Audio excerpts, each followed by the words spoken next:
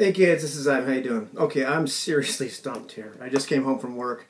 I'm uploading the last video of unboxings, and you know, on my kitchen table is this box, and it's clearly an RPG-related item. It's from Lightning Source. Um, I have a slight inkling of what it might be, but but I'm really really stumped because the only thing I I think it might be is supposed to be delayed. So I really have no idea um, or, well, that's not really true. I have a slight idea. So I'm going to um, see if I can gingerly open this typical lightning source package. And uh-huh, a little slip here.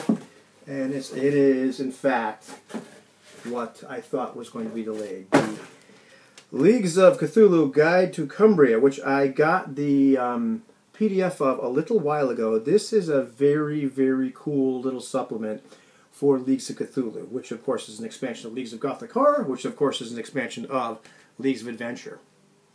And I've got a, had a chance to play uh, Leagues of Cthulhu already once. Um, Wiggy really knocked it out of the park with the original Leagues of Cthulhu, and this, you know, is is no different. There's also I, I forget which thing I got a guide to Antarctica for. It was just in PDF. I think it was just for backers and that was really really awesome. This is really awesome too. It's a part of England, and there's some weird weird crap going on in here. So uh, this is a really really neat uh, little uh, supplement for of Cthulhu.